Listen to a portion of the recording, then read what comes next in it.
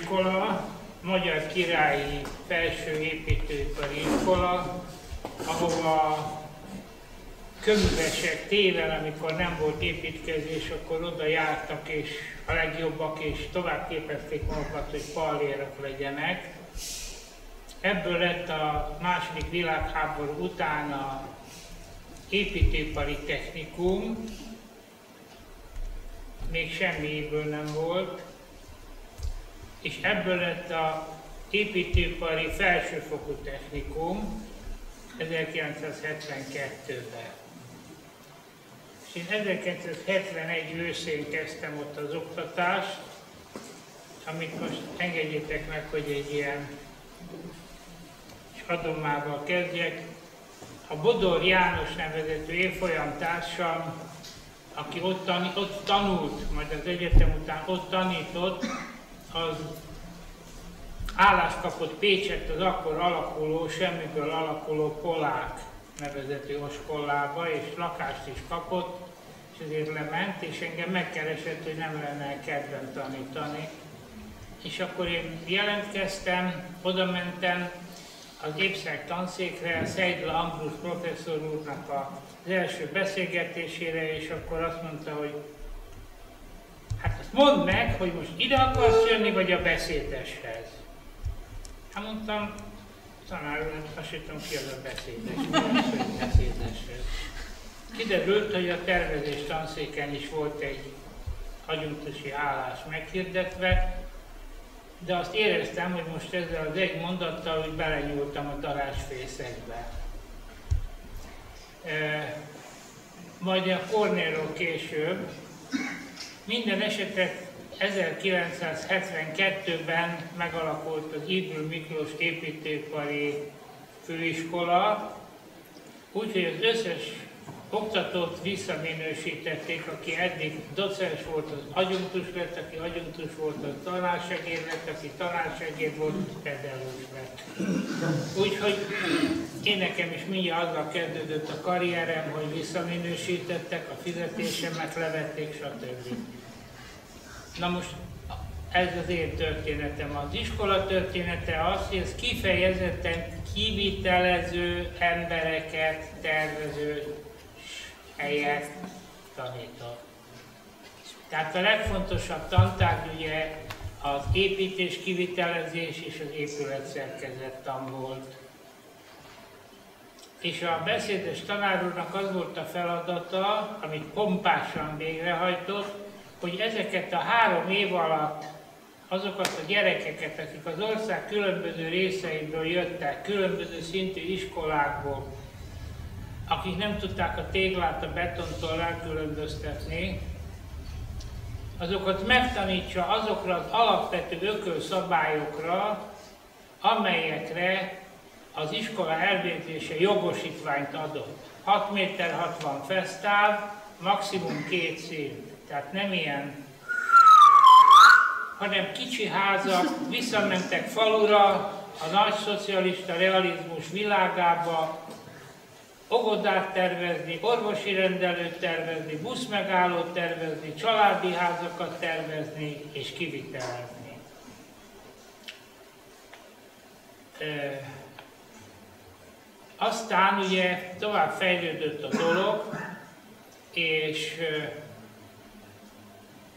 kb. 10, már nem emlékszem pontosan, 10-15 év épszeroktatás után valahogy becsöppentem a tervezés oktatásba is, ahol ugye a beszédes tanár úr ilyen cézári határozottsággal mondta, hogy mit kell tanítani, és, és, és akkor beláttuk, hogy igaza van, mert ebből az emberanyagból három év alatt ezt lehet kihozni.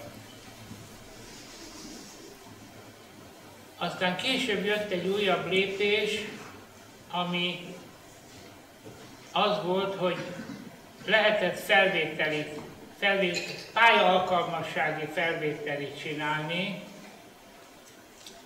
és akkor a rajztanszék oktatóival együtt elkezdtünk rajzoltatni, meg ilyen vizuális feladatokat csinálni, a Sárdi Gábor, meg én csináltuk ebből az intézetből, és hát ugye akkor pontozni kellett a rajzokat, és hát valahogy olyan kevés pont került a rajzokra a végén, nem mindent így csináltunk, többen a vizuális feladatokat mások pontozták, hogy a végén a első tanár azt mondta, hogy hát gyerekek, hát, hát nem lesz diákunk, hát kicsit emeljük meg a színvonalat. Nem a színvonalat, de legalább a pontokat.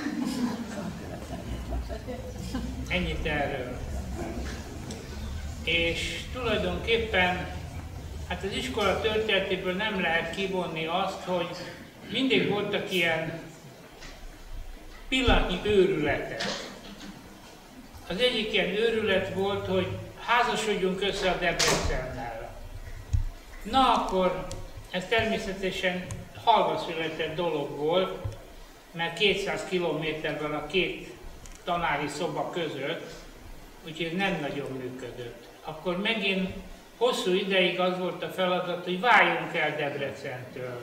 De erre számtalan főiskolai tanács, meg kötegnyi jegyzőkönyv, meg ide utazok, oda utazok, itt a pénz, ott a pénz, hol a pénz, pénz nem volt. Következő érdekesség volt, hogy most mindenkinek doktorálni kell, mert akinek nincs doktorátus, az nem is ember, az nem is építész. Az egy vonalat nem tud húzni. Hát erre minden tanár szépen rajtotta a fejét, ugye, és elkezdett doktorálni, mint az esze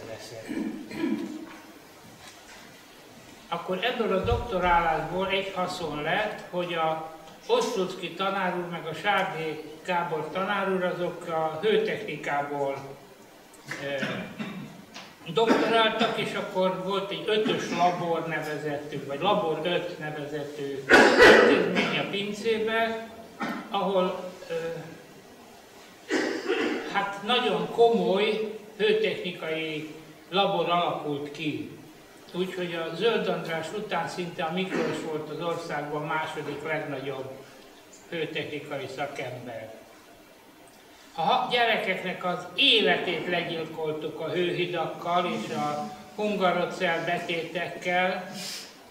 Közben az utcán épültek az 5000 négyzetméteres üvegfelületű irodaházak, amik olyan energia pocsékolók, hogy arról ne beszéljük, ugye? Nem akarok szerkorát tartani, ugye, mert nyelik a hőt, adják a télen, szóval szörnyűség. De mi ő. Hát ettől én nagyon rosszul lettem. De miután nekem is kellett ugye doktorátus szerezni, hát én, én építészet történetből szereztem, és műemlékvédelemből, és akkor elkezdtem éptörtöt tanítani. Na most éptörtöt nem szabadott volt tanítani. A Megyer Attila bácsi tanított előttem éptörtöt, de az még, még a technikumban volt. Úgyhogy úgy kellett elnevezni, hogy az épület, szerk, épület szerkezetek történeti fejlődése. És hát aztán ebben szép lassan masszíroztunk bele egy szobrot, egy képet, egy templomot. Nem, nem volt könnyű feladat.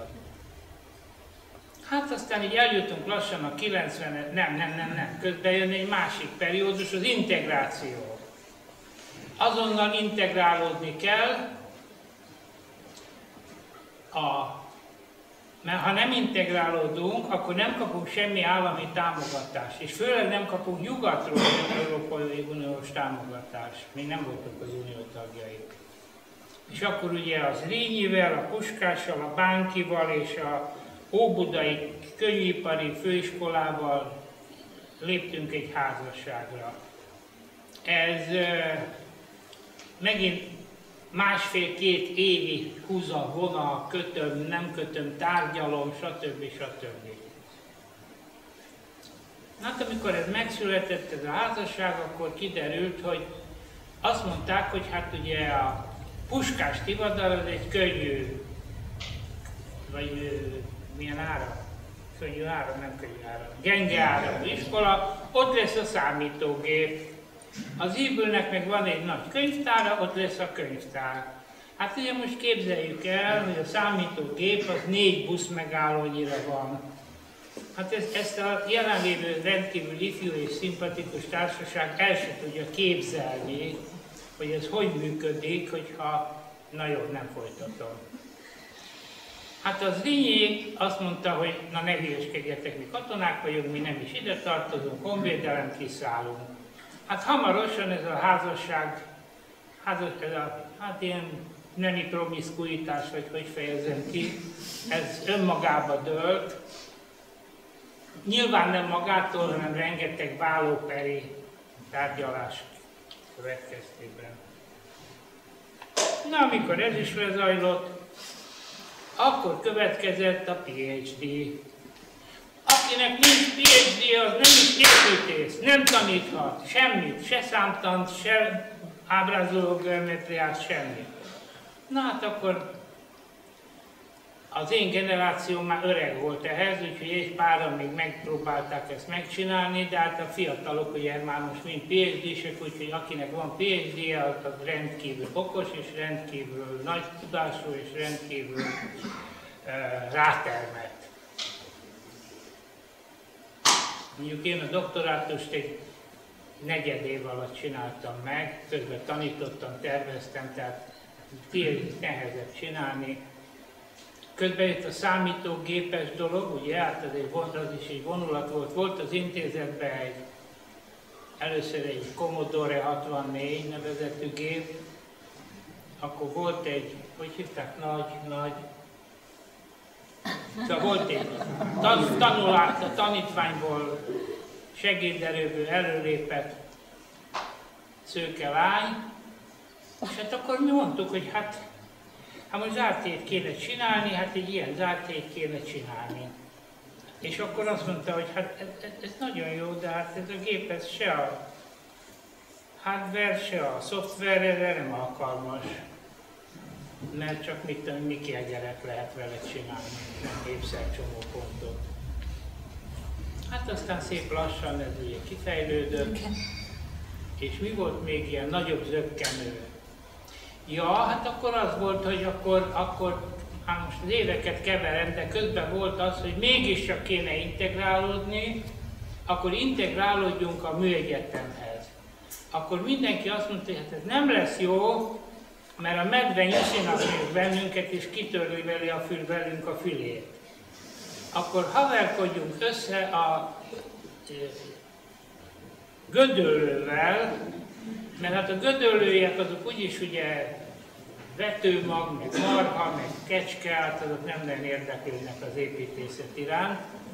És akkor ez egy jó áthidaló tényező volt, ugye a Reisro Gábor, aki ott mezőgazdasági épületeket tervezett, vagy tanított, és akkor összeházasodtuk a Gödöllővel. Hát erről már itt a helyiségben többen vannak, akik tudnának mesélni, vezető beosztású oktatók, én szerintem nem volt ez se egy nagyon jó házasság. És hát akkor szép lassan eljutunk a 2000-es éveknek az első évtizede végére, amikor, ja közben Gödöllőben, amikor be, be tagozottunk, akkor idő múlva már úgy hívták, hogy Szent István Egyetem Íbül Miklós építés tudományi karra, jól mondom? Most ez a címe? Na, hát ez már több éve akar ez a címe. Szinte hihetetlen. És hát ugye építés tudományi kar, én 42 évet tanítottam, hát a tudomány azért az, az egy másik dolog, de jól hangzik. Jól hangzik, és hát a 42 év után nyugdíjba mentem. Úgyhogy, úgyhogy Ennyit tudok én az iskola történetéről mondani, nagy vonalakban, biztos egy csomó dolgot kihagytam, egy csomó rend, nagyszerű tanárt kihagytam, de minden esetre az egyik kollégánk, a Kis Balázs klasszikus mondását el kell mondanom, mert ugye ezek a feladatok, amiket meg kellett oldani, és aztán kiderült, hogy tök fölöslegesek, és aztán egy újabb feladatot, ami tök fölöslegesek, ezekre mindig azt mondta, hogy hát tudod, Balukám, ez olyan, mint amikor a pokolba az ördög ad valakinek egy szál fanszőrzetet és egy kést, hogy egyenesítse ki. És minél jobban csinálja, annál göndörebb lesz.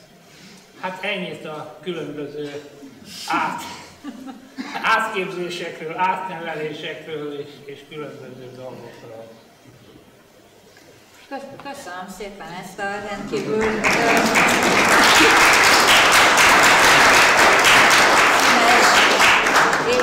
építészettörténeti előadást. A fiatalabb hallgatóknak mondom, hogy Szili tanár úrnak a a építészettörténeti előadásai legendása. Szerintem van itt egy jó pár volt hallgatója, hál' Istennek a, a körünkben. Körülbelül ö, ugyanilyen fordulatos volt az építészet történeti előadása is, és, és nagyon gyors is, úgyhogy én arra emlékszem, hogy képtelenség volt tanár úgy jegyzetelni az órákon, és nem volt szabad egyáltalán lámpát kapcsolni sem, úgyhogy hát ez volt a te, teljességgel lehetetlen vállalkozása jegyzetelni, de, de mondjuk az tényleg rendkívül izgalmas volt, értékes volt és különleges volt szerintem, ahogy tanítottad a, az építészettörténetet, ez a szerkezet alapú építészettörténet. Szerintem ez is, ö, ö, hogyha most az évül örökségről beszélünk, meg az évül hagyományokról, akkor ez az egyik ilyen ilyen jellegzetesség. Hogyha a hungarikumnak lenne évül megfelelője, ívülikum, vagy nem tudom, akkor ezt oda lehetne sorolni. Bölcső László tanár úrhoz fordulnék, hogy ebben a kalandos, ízülös történeletet te mikor kapcsolódtál be? Várj, én még megpróbáltuk emlékezni arra, hogy mi volt a kérdésed felénk a legesőelején. A kérdés az az volt, hogyha kisöreg fölébredne álmaiból, akkor milyen hatásokat vélne fölfedezni, és mit szólna hozzá. Most én megpróbálok erre válaszolni, még el nem felejtem, hogy mit kérdeztem. Na én a következőt mondanám neki, két történetet mesélnék el neki, mégpedig a, az egyik az az iparterve történt, ahol a másik műteremben a Janáki Pista dolgozott és csinálta a terveket, természetesen szabad kézzel, én jártam át, mert az valami csodálatos szép volt, ahogy a Pista rajzolta a terveit. Nevezetesen lombkosaras tető összefolyót. Tehát, na most nálam ez úgy működött, kinéztem a típus könyvbe a típus számot, ráírtam a tervre, hogy ezt tessék alkalmazni. Pistánál ez elképzelhetetlen volt, hogy egy tető összefolyó típus termből alakítson ki. Elővette teljes temperakészlet, szóval valami olyan csodálatos dolgokat csinált. Most a harmadik nap, amikor jártam át, egyszerűen csodálni, akkor azt mondja, hagyjám, hát nem tudok, miért, miért jár? Hát mondom, mert csodál. Mit csod? Hát, hogy ezt te harmadik napon ezt te rajzolod, és valami ilyen fantasztikus dolgot csinálsz, ő azzal udvarjaskodott vissza, hogy te figyelj, te annyit vacakolsz a hallgatókkal, nekem ahhoz semmi türelmem, én ezt tudom, szeretem csinálni, én ezt csinálom. Nem hagytam békül, megkérdeztem is, honnan jött ez? Hát azt mondják, apja is híres építész volt a Janáki Pistának, hogy egyszer a fatertól kapott egy IB könyvet, tele volt az ő rajzaival, és gyakorlatilag állandóan ezt nézte. Így lett belőle a egyik legszebben dolgozó, rajzoló építész. Ez lett volna az egyik mese, amit ha találkozom az idővel, lehet, hogy még elmondom oda. A másik az a következő volt, San Francisco-ban felvétel van egy tervezőirodában. 37 jelentkező volt építész tervezési irodában, és főnök úgy döntött, hogy mind a 37-et egyszerre hívja meg, 5 perc, 9-kor kezdünk délben kész van. Megjelent ott egy libus hallgató, jó régen volt már, diszidált, mert ez a rendszerváltás előtt volt jócskán. 17-nek került be, egy-két rövid kérdés, majd utána azt mondta a főnök, üljön le, és ezt rajzolja, kiment, még 20 várakozott, azt mondta, hogy menjenek haza. Na most a csaj leült, elkezdte csinálni az azonnal, de azonnal a vázlatot, de izgatta, hogy most ő ezt hogy? Szóval egy dologra gondolt, jól nézett ki ez a, ez a egykori hallgatónő, hát ő fölmérte a terepet, hogy hát ez teljesen egyértelmű, szóval itt. De azért úgy gyanús volt neki, hogy, hogy nézd a főnököt, nem ez lehetett a döntő szempont. Főnök azt mondta, hogy látott már olyan terveket, amit egy budapesti Iblü iskolába járt építész rajzolt.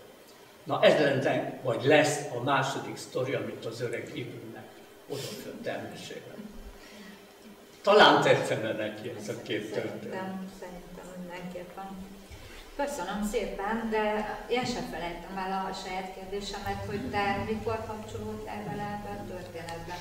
Én 73-ban kapcsolódtam be, két évvel később beszédeshez jöttem, ő hívott engem annak idején, mert, mert akkor neki az volt a feladata, hogy átvezesse a technikai képzést a főiskolai képzésre, és ő erre két módszert talált ki, az egyik az adaptálás, de most ez is egy nagyon érdekes dolog volt, mert az adaptálást azt nem a, nem a már meglévő típustervek használatával végezte, hanem ő csinált úgynevezett beszédesféle alaplakásokat. És azt kellett a hallgatóknak adaptálni, és azon keresztül tanította ezt meg. A másik volt, hogy az már nem általán készítettek típus tervek voltak, pici ipari épületek és pici kommunális épületek voltak, amik típus szerkezetek felhasználásával kellett a hallgatóknak összeállítani a tervet. Hát a, gyakorlatilag kiviteli tervet csinálni ezekből a típus tervekből. Na most ez már nem volt az ő területe, és akkor ő segítséget próbált szerezni, és szerzett segítséget az ipartervtől. Az első hármas, akit óraadóként alkalmazott, az a Nedekov, Bajnai László és Arnold Lajos volt, csináltak egy-két évig, és utána megunták, és azt mondta a Kornél, hogy figyelj, elmehettek, de csak akkor, hogyha küldtök hármat magatok helyett. És akkor ők a Borostyánkai Bencú Lacit és a Janáki Pistát küldték, és akkor ők voltak a ipartervesek. Most a Janáki Pista, hogy megint hozzá térjünk vissza, annak nem tetszett az épül. Szóval valahogy úgy érezte, hogy ő, ő, ő nem ide való, ő nem erre termet, és e, ugyanúgy engedte a Kornél, hogy akkor na jó, te küldjél. És ő engem küldött, rossz nyelvek szerint azért, hogy ne járkáljak át hozzá nézegetni a terve, és ne dumáljak annyit, hagyjam a többieket dolgozni, legalább egy héten legyen két délután, amikor nem vagyok bent, hanem a, az iglúbe vagyok, így lett belőlem. Tanár a többit majd később a Rendben. Köszönöm, mert is rengeteg újdonságot mondtatok, amit, amit nem tudtam iglúról, meg az itt tanító tanárokról. De most, hogy már ennyiszer fölemlegettük édesapádat, akkor megkérném most beszédes Ritát, a lányát, hogy, hogy beszédes tanár úrról, erről a nagy ívülös tanár egyeniségről add elő, amit gondoltál az ő munkásságáról elmondani. Mindenki köszöntök. Tehát itt nagyon megváltozik az a helyzet, amire én készültem. Tehát én úgy gondoltam, hogy beszédes tanárul, utána jön Leső Gábor és Kapi Jenő. Most itt valami egész más történt, de csak előjárom annyit szeretnék mondani, hogy én nagyon szeretek anekdotázni, és amióta úgy érzem, hogy mindig csak a gyerekkorom jut eszembe, és ott tényleg apa körülöttem minden esetben. Anekdotával rendelkezem, de te azt mondtad nekem, hogy 20 perc, én ezt komolyan vettem, úgyhogy tegnap este felolvastam egy stoppányotával, amit írtam, 22 perc volt, úgyhogy majd most éppen sietek vagy bizonyos részekkel, tényleg 20 perc legyen.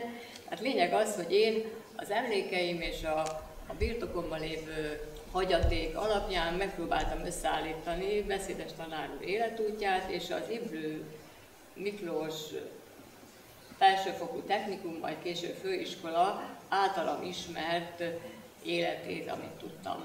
Lesz átfedés is a két dolog között. Hát engedjétek meg, hogy felolvassam, mert így leszek 20 perc, egyébként sokkal több. Kérdésem, bírsz hangosabban beszélni, vagy szerezzünk Halk vagyok, nem hallottok be? Nem szoktak ilyet mondani. Halk vagyok, akkor majd felerősítem, egy kis vizet szeretnék kérni. Na, tehát akkor kezdeném a, a, a anekdotát, akkor nem is tudom, elbeszélés, eszét. Tehát, tehát be, e, folyamatosan beszédes tanárról van szó, az ő szakmai és hát magánéletéről, nem a szakmai életéről. Tehát ő, ja igen, úgy kezdem, hogy Dragonis Tamás, Dániás évfolyamtársa, nem tudott eljönni a temetésére, és ezért a nekem írott részvétnyilvánító leveléből idéznék. Hát ő, akivel befelé fordultsága ellenére olyan megértő barátság alakult ki már csak nem 60 éve, amelynek gyökerei későbbi, csak ritka találkozásaink ellenére megmaradtak, már nem szólhat többé az ő csendes, megfontolt módján, de visszafogott indulatossággal, kesernyés humorral sem. Ezeket azért olvasom fel, mert egy kis, hogy mondjam, egy kis beszédes hangulatot szeretnék teremteni, tehát az ő egyéniségét finoman, nem durván, de érzékeltetni a jelenlévőkkel, hiszen úgy látom, hogy itt azért fiatalabbak vannak, tehát akik 83 után kerülnek a főiskolára, az ők vannak talán többen, és nem akik előtte. A következő idézet, ez a Tápai Antal szobrászművész, életutam Szeged 1983, közös álmodozásunk emlékére Tápai Antal bejegyzé, mondják, dedikálásával ellátott könyvéből elkedvetlenedett, és én elvesztettem legértékesebb szövetségesemet. Tiszta szándékú, kötelességtudó volt, de nem bírta a szegedi regulát. A beszédes Kornél okleves építészmérnök nyugalmazott főiskolai tanár, született 1923. november 6-án Kaposváron, meghalt 2003. február 11-én Budapesten.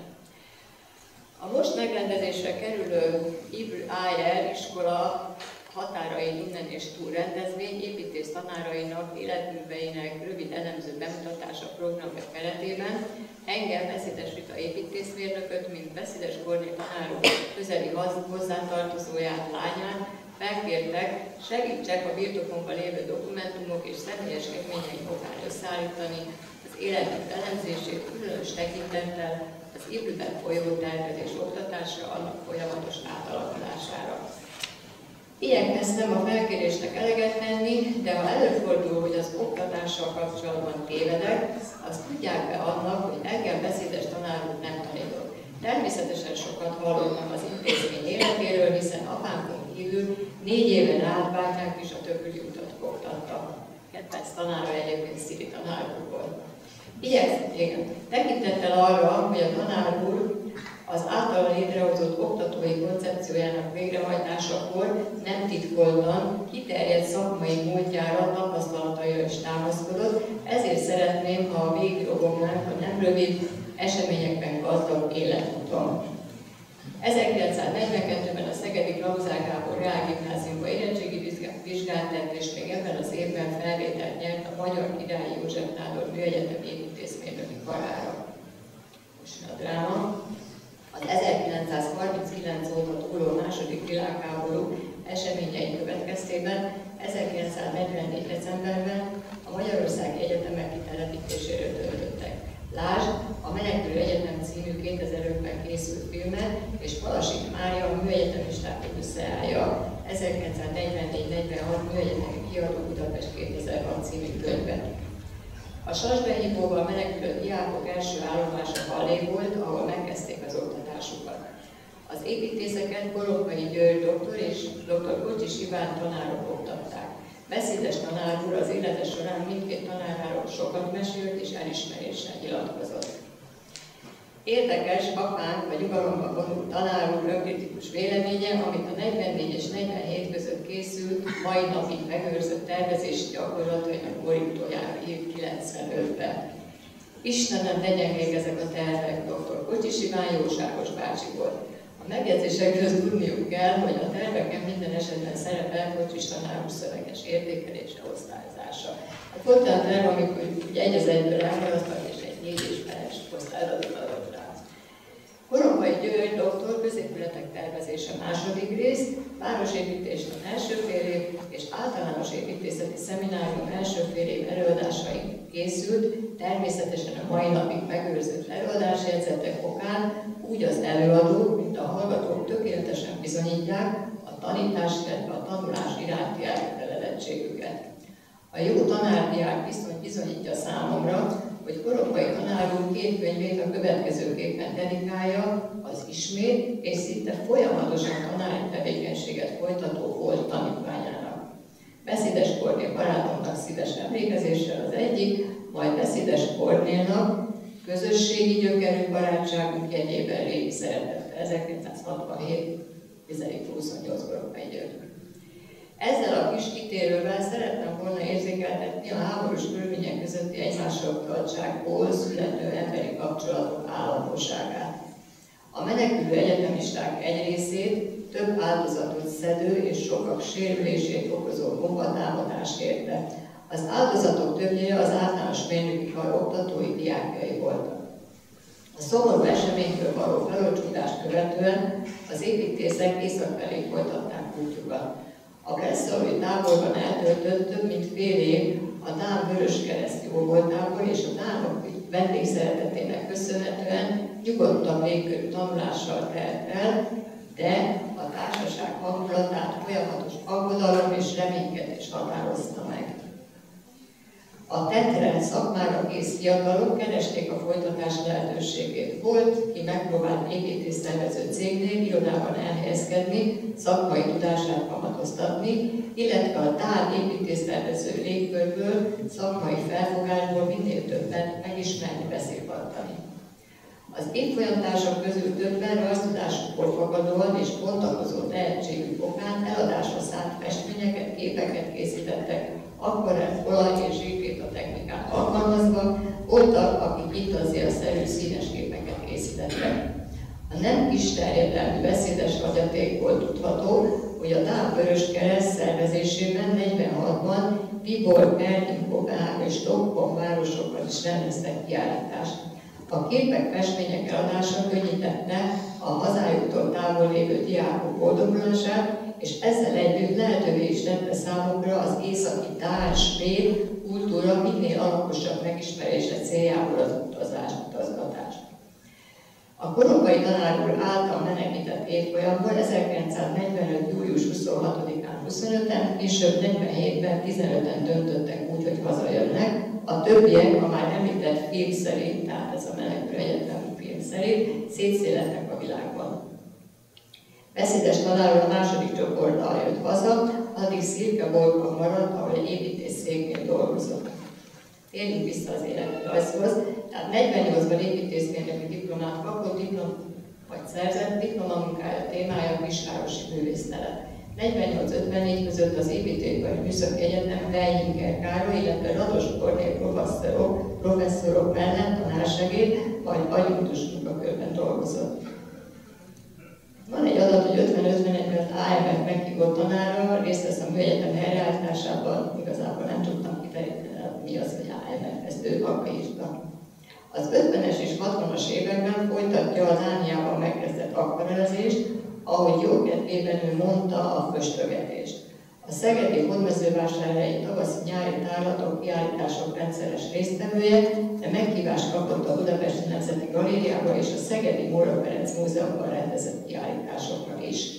95-ben a főiskolán az időben is rendez kamarakiállítást, szívesen foglalkozik a festeni szándékozó diákokkal.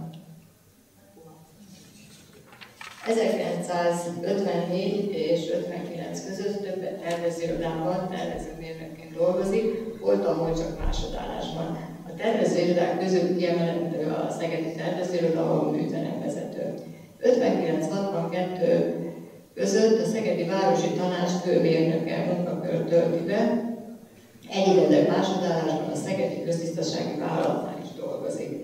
62-63 között a Csokrendmegyei Tanácsi Tervezőiroda szintén műzelemvezető, másodállás a Tisza Állami Áruházban műszaki ellenőr. 63-64 Csongrád megyei tanács, vegyesipari szolgáltató vállalat vezővásárhely, saját megfogalmazásával téglagyári főmérnök. Hákekoszi kirakott homlokzata a Honvezővásárhely bajorikából készült. 62-64 között Orvendik Béla építésszel kidolgozzák a technikus továbbképző szeminárium előadásait. 64-65 Bárti-nál dolgozik, ahol délalföldi területi főépítész helyettes, Bakonyi Dezső bácsi volt a főépítész.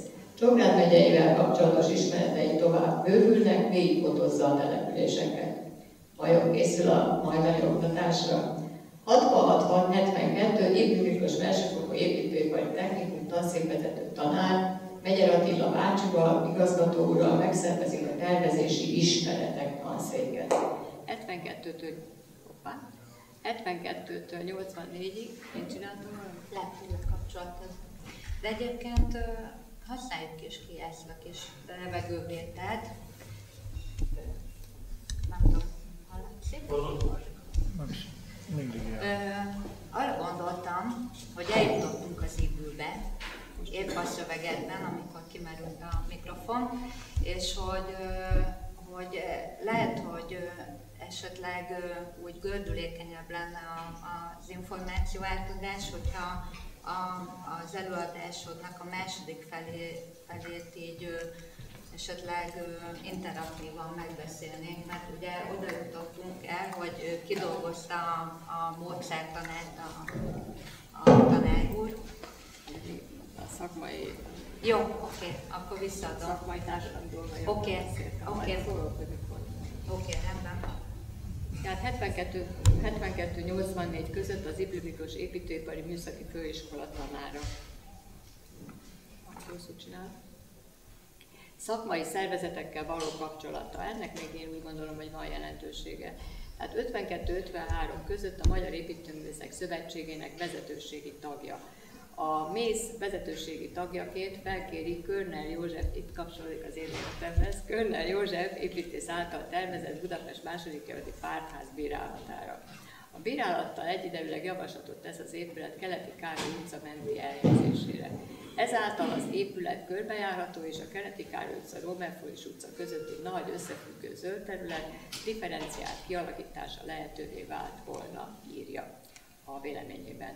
Szokatlan módon a mész nem a készülő terv virálatában vesz részt, hanem a szinte átadásra kész épületben tartott kihelyezett ülést és úgy mondanak vélemény. Ez az, amikor már nem szabad rosszat mondani, mert már felépült az épület. 53-55 között a mesteriskola első ciklusát végzi diplomamunkájának témája, itt a Budapest belvárosában a Szép utca, Kossuth Lajos utca saroktelken kiállítási épületet tervez, mestere Gáldogos Lajos, aki már akkor is évdíjas volt. 63-ban az Építőipari Tudományos Egyesület Szegedi csoportjában végzett társadalmi munkája elismeréseként megkapja az alfárérmet. 85-ben munkaérdemlem harmadik fokozatát kapja, megalakulásától tagja a Magyar Építész Kamarának, 87-ben vezető tervező jogosultságot kap. Halljátok, az, halljátok szerintem? Lehet, hogy már működik. Most már Jó. Tanári tevékenysége 48-ban a Műegyetemen kezdődik, ahol tanársegéd, később tudós. Most csak így végig szaladok az egészet. 51 és 55 között Szegeden a Bedes István építőipari technikumban tanít, 54-ben a Tököliúti technikumban is tanít, szerintem akkor volt a Divigyi a igazgatója, ugye a technikumnak erről mesélt. Egy, egy, egy, egy folyamatosan késő oktató volt, tehát az előadásairól gyakorlatilag késett, és azt mesélte nekünk otthon, hogy hát a Divigyitől neki mindig menekülnie kellett emiatt, mert hát nem illett késni az előadásokról. Azért volt Divigyi Mihály Számunkra érdekes lenni a József Attila gimnáziumba jártunk, ahol ő igazgató volt az én időmben. Most nem, nem, nem, anekdotázok, mert akkor nagyon sokat beszélek. 62-64 között Szegeden a technikus továbbképző szemináriumot vezeti, majd 66-72 között az Ibru Miklós Felsőfokú Építői Technikumban, később 72-93 között az Ibru Miklós Építőipar Műszaki Főiskolán képez szakembereket. 83-tól óraadóként dolgozik a főiskolán. A Szegeden rendezett, ez most érdekes lesz, mert ez egy átkötőszál. Tehát a Szegeden rendezett technikus továbbképző szeminárium 10 előadásának anyagát a Szegedi Technikum Könyves felsőfokú technikum már fejlesztésének előkészítése céljából dolgozta ki. A rendelkezésemre álló összeállítás szerint Borbendék Béla építészmérnökkel közösen készül az előadások anyaga annyiban, hogy bizonyos városrendezéssel és zöld terület fejlesztéssel foglalkozó témákat Borbendék úr dolgozta ki, és adta elő. Ez a Szegedre tervezett elképzelés a minisztérium jóváhagyásának hiányában meghiúsult, tehát a Szegedi Vedesből nem lett felsőfokú technikum főiskola. Nem így Budapesten, ahol az építőipos építőipari technikum épületének és fejlesztésének korszerűbbé tételét követően 63-ban megindult felsőfokú építőipari technikum esti tagozata, vagy 65-ben a nappali tagozat építőipari és lakáskommunális szakon, az esti tagozaton csak építőipari szak indult. Az építőipari szakon a tervezési tanszéken tervezési ismeretek és építészet történet tantárgyak kerülnek bevezetésre. A tervezési ismeretek tantárgy részletes programjának kidolgozásakor az EPM felsőfokú technikummal szemben támasztott követelményeire kellett tekintettel lenni. Idézek az EPM aktuális kiadványából. Céljai közé tartozik, hogy a felsőfokú technikum tovább növelje az Miklós építőipari technikum által szerzett jó hírnevet és szakmai elismerést, és jól képzett felsőfokú szaktechnikusokkal segítse szocialista építőipar korszerűvé tételét fejlődését. Ezeket mondta Balázs saját szavaival. Az EPM kiadványából megismerhetők az egyes szakok célkütőzései és a betölthető munkakörök.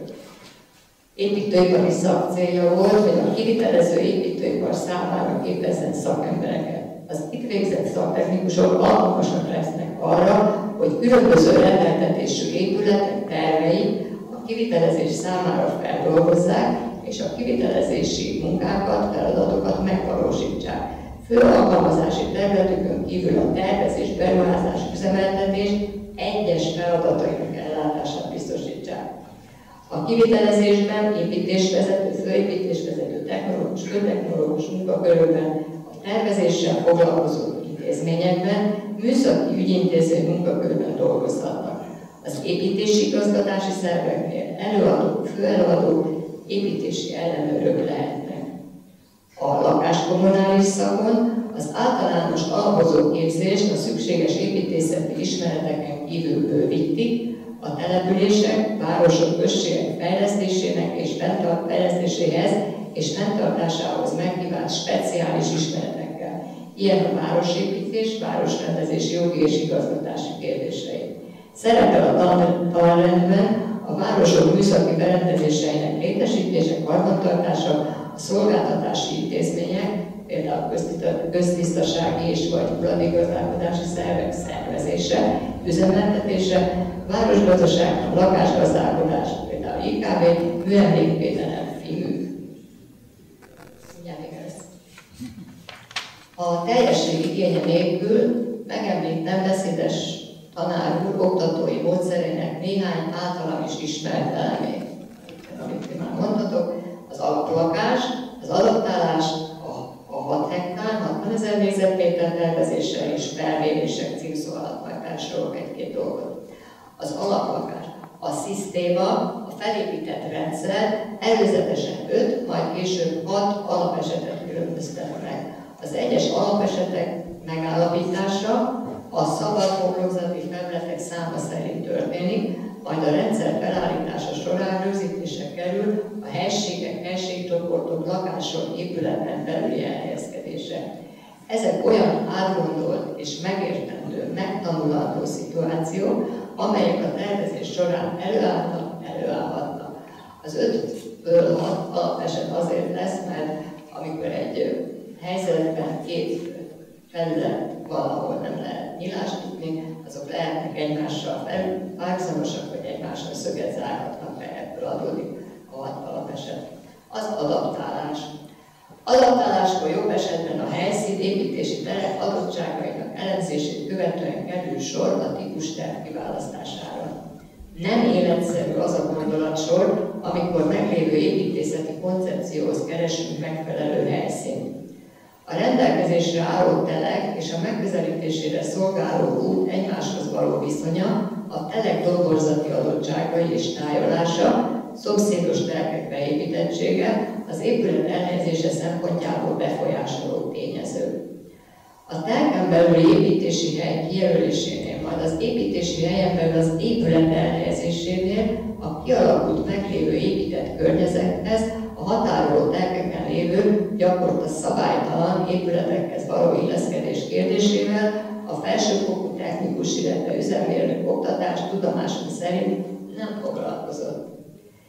Ezen szempontoknak a megfelelés olyan szubjektív megítélést igényel, mely objektív mércével osztályzat nehezen mérhető.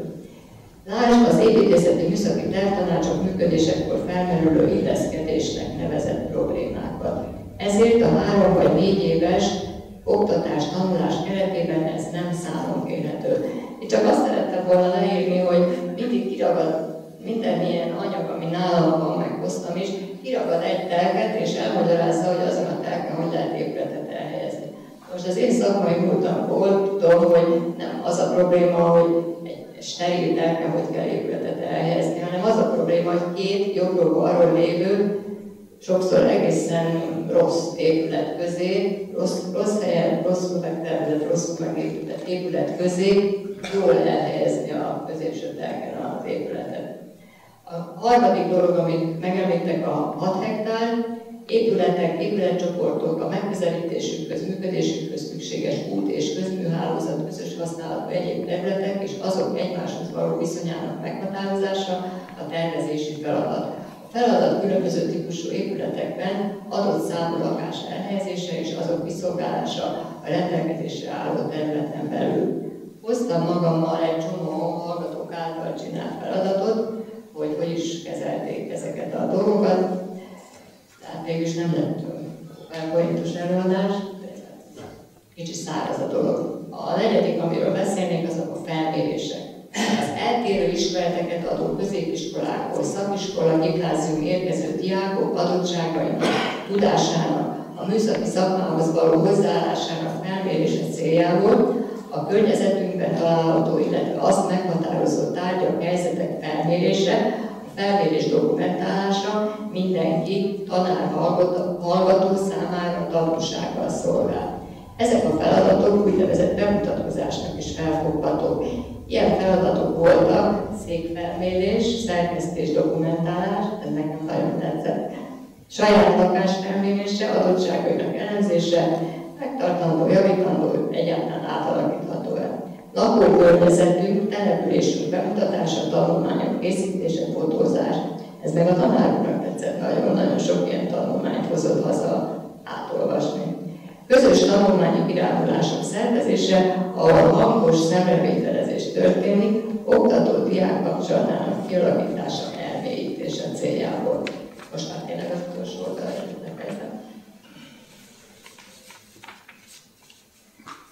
Beszédes tanárok számos oktatási segéletet, jegyzetet, példatárat és egyéb oktatási anyagot, egyedileg rajzolt színes diapozitívokat készített, ezeket előadásaihoz felhasználta, és volt rá, ha volt rá lehetősége, sokszorosítatta.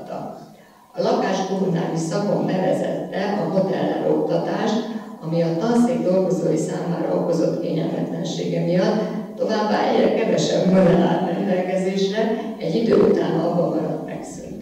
Én megkérdeztem tőle, hogy mi történt, és mondta, hogy hát valahogy eltűntek ezek a, a kockák, a épületek.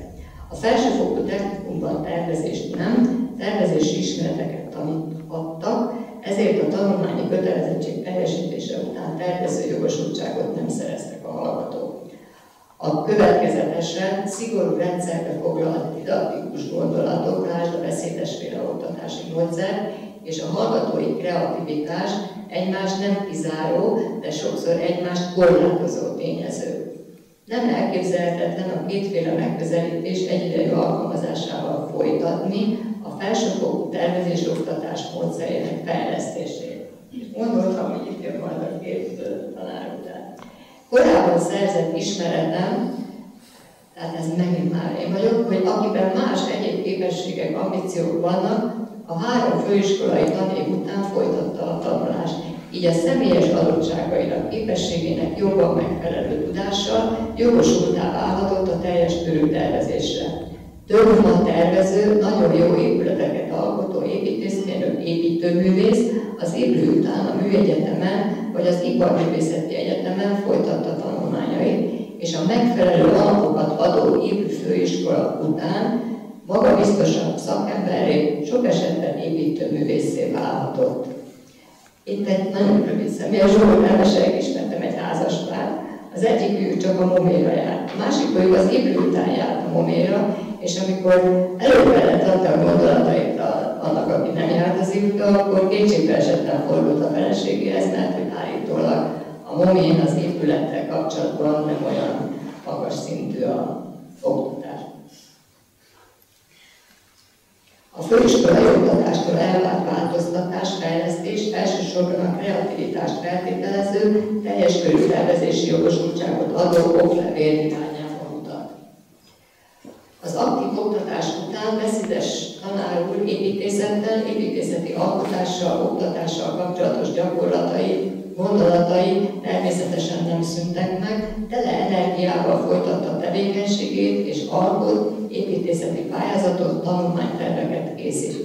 Többek között összeállítja és 19 pontban elemzi, szubjektív megjegyzésekkel gazdagítva rögzíti, tanácsokat ad az oktatás fejlesztésének szerinte lehetséges útjához. Most a rendezvény keretében lehetőségük van közzétenni a kézen írott lapokat, ezzel előkészíteni az oktatók sorát folytató Reske Gábor Kapi tanárok oktatási módszerének elfogadását. Szeretném, ha megnéznék beszédes tanár úr soha el szakmai ambícióját igazoló építészeti pályázatát, ami a Erzsébet téri helyszínen írt Nemzeti Színház pályázati terve volt.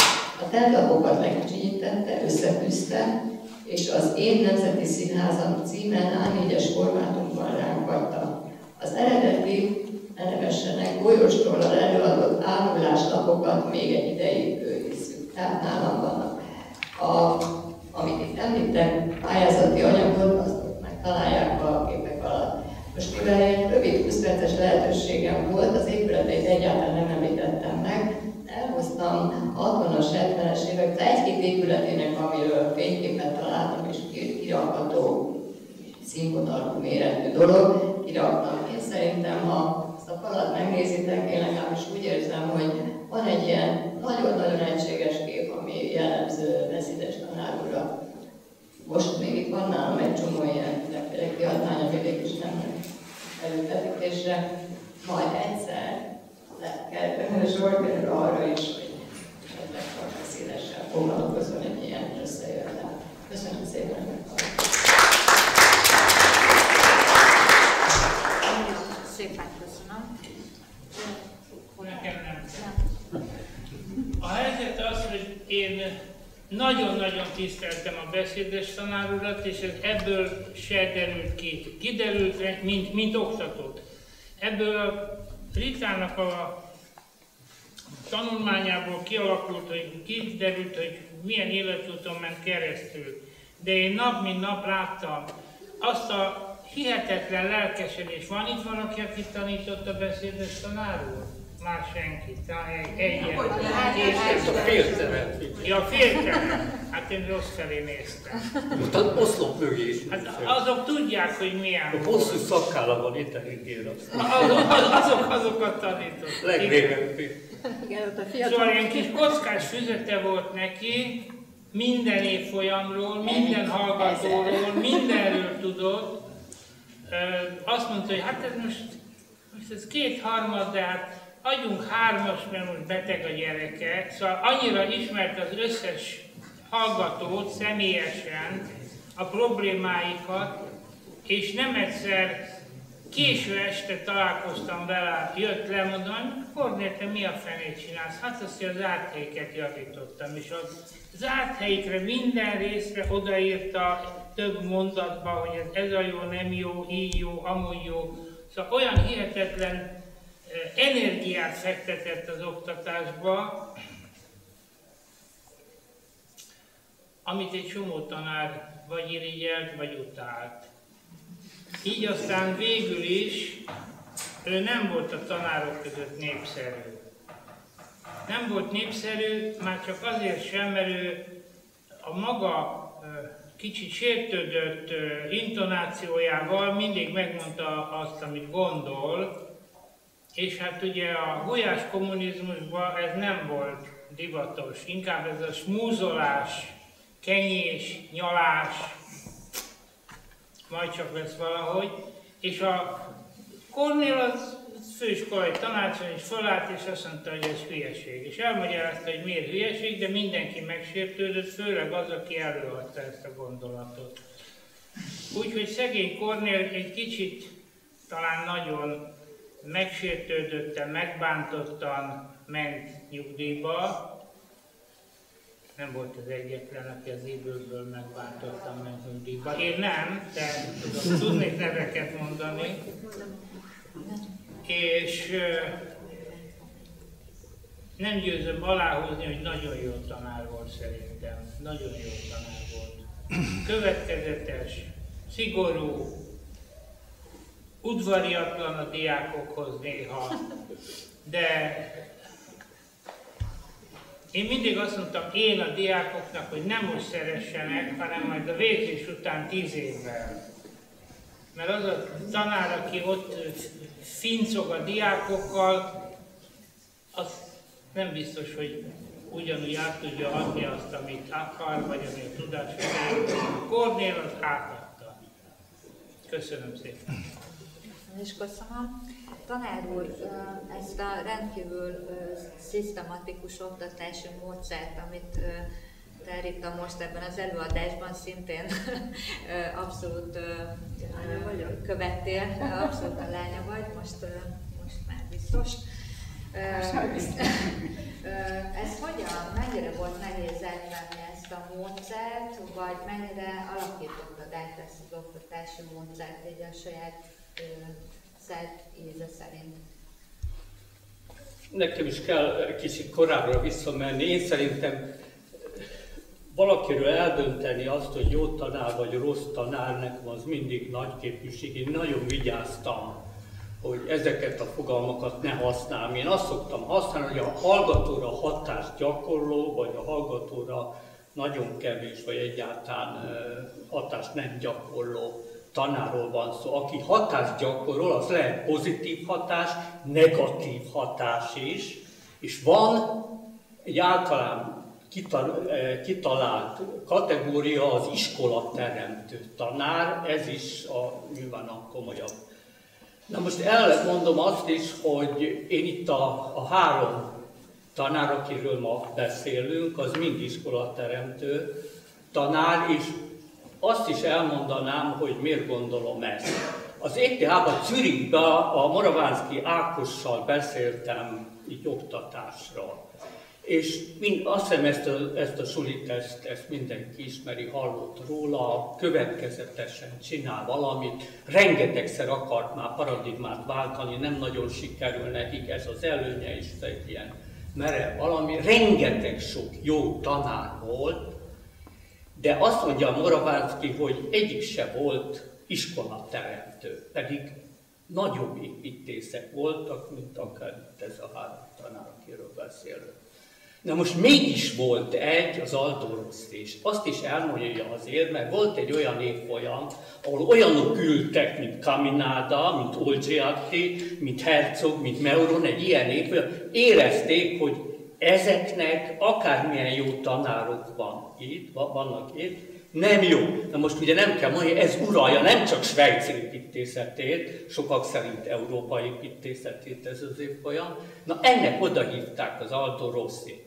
Most Aldo Rossi oda ment, és az első előadása az volt, hogy bement, 10 percig nem szólt semmit. Mindenki már így, hát ez a feszengés mindenki ismeri. És utána megszólalt, és azt mondta, hogy az építészet az építészet. Kiment és haza. Mindenki várta, hogy visszajön. Ez volt a nyitó előadása. Na most a herceg és Demeron egymásra nézett, és azt mondták, hogy figyelj, mi leszünk 20 év múlva Európa? Kis szarosak voltak, és az. Na most ez az iskola teremtés. Na most azt kellett mondani, hogy hogy, tud, hogy lehet mondjuk az Aldo Rossihoz a Kornélt, a Jenőt, Gábort összehasonlítani, nem lehet. Értek, úgy lehet, hogy a sors is tud segíteni. Könnyebb iskolateremtőnek lenni ott, hogy most eltúzzom, 5-10 évenként teljesen más akar az iskola. És elindul majdnem, hogy általános iskolából is lesz belőle egyetem, és egy olyan iskolába, ami elindul, és 140-150 évig ugyanaz. Ott legyél iskolateremtő, úgy menet közben. Az marha ne. Csak egynek sikerült az étján, az Aldo Rosszinak. Itt azt kell, hogy mondjam, hogy a Kornélnak, a Gábornak és a Jenőnek gyakorlatilag besegített a sors azzal, hogy állandóan változott, méghozzá gyökeresen változott az iskola. Most egyelőre ugye a Kornélig jutottunk, ugye Kornélnak az volt a feladat, hogy átvezetni a technikumból főiskolává. Na most miért lett ez főiskola? Az is nagyon érdekes. A Bondorék idejében az, hogy a Hilton szállott egy technikus építés vezeti, hát az egy olyan természetes dolog volt. És akkor jött a Somogyi, aki azért egy fokkal értelmesebb építésügyi miniszter volt, és az, hogy építésvezető, technikus, ez van. Na most akkor ebből az lett a hogy összeszedték az összes építésvezetőt, 40-45 éves, és mondom, milyen házak álltak mögöttem, mint a Hilton. Nekem ezt kellett 28 évesen beraknak a tankörbe a Hilton szállónak az épít. Megépíti azt a házat, és én szaros fejjel 28 éves legyek a tanára. Na most ki kellett találni egy iskolát, ami mégis felsőfokú lesz. És ráadásul csak három év alatt a papír, felsőfokú papír. Hát erre csak az íblő alkalmas, és ezért lett az íblőből tulajdonképpen csúsztatok, nem teljesen prezi, sok minden más van, de a lényege, Na most a Cornél ezt felfogta, és azt mondta, hogy ha neki már meglévő építésre kivitelezőket kell, és majd a jövőben is azzal váló építészeket kell nevelni, akkor úgy nevelek is.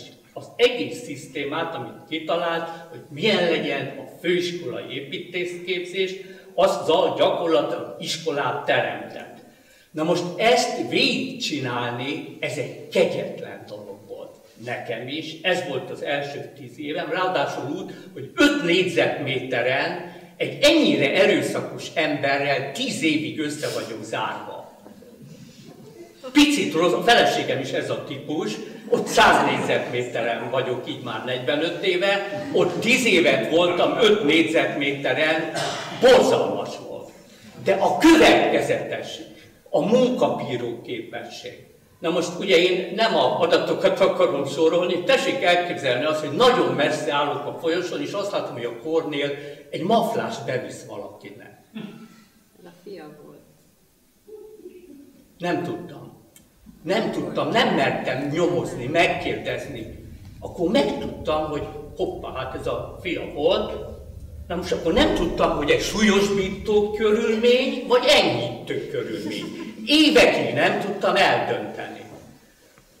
Na egyet viszont ezzel elért, hogy én 6500 építész nevelésébe vettem részt, egyetlen építész nem neveltem, ez a fiat. Nem tudom, hogy van-e az országban, aki építészeti tervezéssel foglalkozik gimnáziumi érettségivel, ez ezért van. Tessék elképzelni, hogy odahozni borzasztó mély nyomokat hagyott. Na most utána évekkel megkérdeztem, hogy mi volt. Ezt, ezt nem mertem az iskolába, neki is volt egy tanyája a torzaszt, valahol arra. Oda, oda levit, vörösbor, minden. Nem, Kornél, ugye az nem a, tudtam, hogy a Gábor volt, tehát hogy nem tudtam volna, hogy az, de az volt, mondom, és de mit csinál? Primasz volt. Itt még egy kicsit, mondom, egy picit nem részletezni? Megint kicsit csúszhatok, csak nem teljesen ez volt. Nem az ő alaplakását akarta adaptálni, hanem egy másikat, amit ő tervezett. Hát ez egy akkora bűn volt, hogy na most tessék elképzelni, és ott ültem, és gyakorlatilag tőlem is követelte meg ezt a dolgot, és akkor én szépen ráálltam. Na most az én életemnek a fő baja az, hogy erre a tíz évre esett az, azok a hallgatók, akik ezzel a módszer később, most már a, a legjobb építészek, tehát gyakorlatilag az országnak a kemény magja. Tehát most nem akarom a kispétét, de millió, millió egy, aki gyakorlatilag ezt a tervezés tannak hívott, de ő nem ezt csinálta. Tehát ő, ő a tervező lelkét tanította a kivitelezőknek, és azt mondta, hogy minőség akkor születik, ha a kivitelező és a tervező kölcsönösen megtanulja tisztelni egymást. És az egész oktatási módszere ez volt, hogy lásson bele a tervezőbe, ne akarjon tervezni, adaptáljon, amit odaadnak, építse meg, amit odaadnak, mennyire erre vágytunk később, mint tervezők, és itt a ma is, hogy egy olyan építésvezetőjük legyen, aki végrehajtja azt, amit akar a tervező, egy szava nincs, neki jár végrehajtja. Vagy egy kis tiszteletteljes konzultációval halad a cél fele. Tehát ha honnan nézem, ez a tíz év, visszatérve a kérdéshez, nagyon-nagyon nehéz volt, de végig csináltam, és gyakorlatilag ameddig, ez tíz év volt, és akkor kezdődött nálam is valami, és majd erre visszatérek a későbbi, a Gáborral és a Jenővel kapcsolatban, de röviden összefoglalva, fegyelmezetten végigcsináltam bele, a a, a, munka, a, a munkabírást, a következetességet, a szisztémát, a célt látni, és annak érdekében minden, szóval ezeket biztos, hogy nála tanultam, de a, a borzasztó tekintélyelvűséget, a szigort, azt, azt, azt, azt én nem is értettem vele, de ez is érdekes volt, ez a tekintélyelvűség, hogy, hogy akkor működött Isten igazából, azt érezte, hogy nem par, tehát ha szemtelen a Na most, most hát ez a szemtelen szó, hát ennek is százfajta értelmezése van. Tehát egy kicsit, aki alázatot mutatott, azt elkezdte úgy támogatni, hogy megkérdezte, hogy meggyógyult a gyerek, és féljegyen jobban. De aki csak egy kicsit visszabe, na most hát az egy tanár, hogy ennyire ne lehessen visszabeszélni, hogy ennyire feszül. Én legalább tíz hallgató tudok, akinek a gyomra szétment, az alatt még nála tanul fekélyes. Egy, egyszer szörnyűséges légkör volt, na most ott volt egy kis enyhülés, hogyha egy olyan csapat jött, de a kettő ült bent, aki, aki hát, na vissza, ő ezt úgy, vissza. Hát elmondta a véleményét. Hát na, ennyit, azt a többit majd a Rendben. Egyébként a 6 hektáros ZH-ra már a bölcsök tanár úrnál mai napig emlékszem erre az ilyen. Utáltál nagyon akkor kevés. Zsufa nincs itt, mert az holnap jön.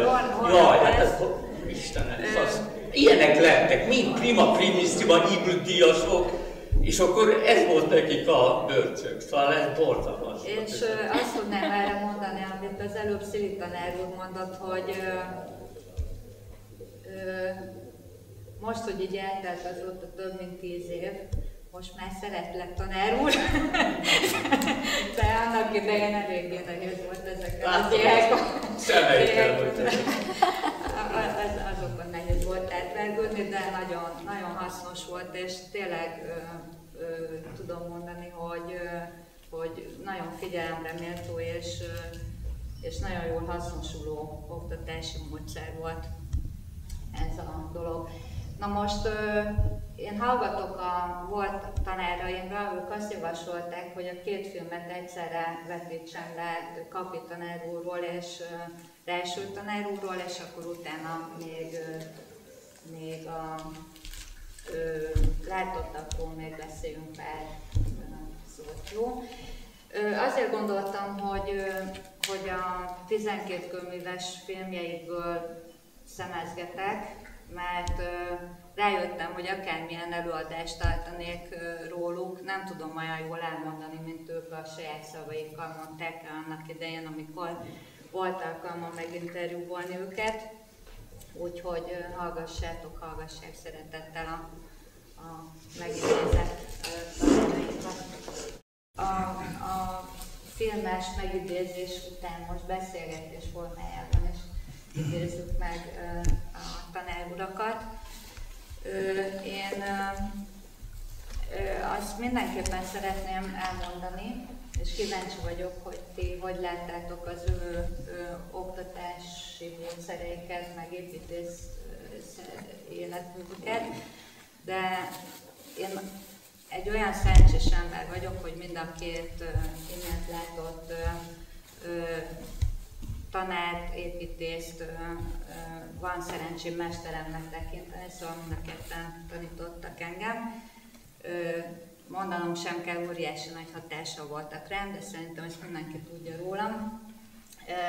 És az volt az ő tanításukban a fantasztikus, és megmondom őszintén, hogy tanárként ez nekem probléma, mert nagyon magasra rakták így a mércét, hogy ezt valahogy így próbálná az ember elérni, hogy az volt a legjobb nekem az ő oktatási módszerében, hogy tulajdonképpen nem is az építészetről való diskurzusok voltak a legérdekesebbek, vagy az, az ilyen típusú előadások, hanem ahogy itt a interjúikból is kitűntök így az életről, meg a, a ö, építészeti viselkedésmódról, vagy a szakmagyakorlásnak az etikájáról, meg egyáltalán a, a minőségi élésről ö, próbáltak bennünket, ö, ö, hogy is mondjam, információkkal ellátni, és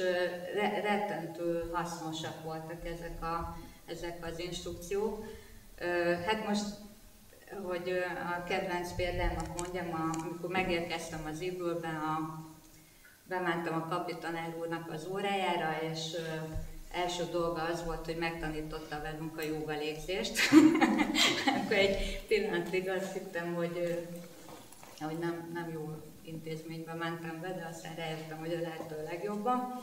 De, de mondjuk a Rejsült tanár úrnak is tudnék olyan sokat ismételt aranyköpéseire is utalni, amit komolyan mondom, hogy nap mint nap a tanítványai újra fölidéznek magukban, és olyan instrukciók voltak, amit, ami nélkül szerintem, hogyha nem találkozom velük, akkor, akkor nehezebben venni az ember az akadályokat az életben.